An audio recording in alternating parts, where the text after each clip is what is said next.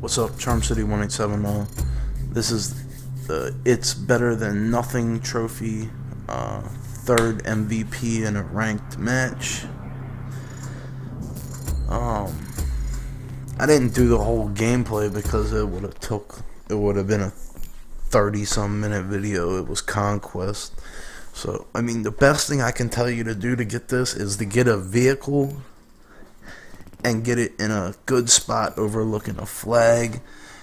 Um, I think I placed second here, and it's you got to come in third overall. So if there's two first place guys on the other team that have a higher score than you, then you're and you come in first on your team and you have the high score.